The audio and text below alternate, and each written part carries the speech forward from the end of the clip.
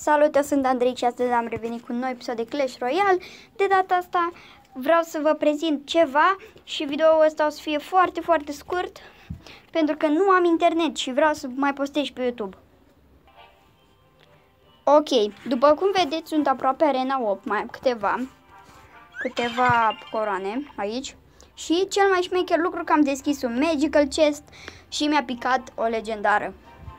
Mă gândeam să-mi pice un electro sau o prințesă, dar nu. El vrea să-mi pice Graveyard, frate.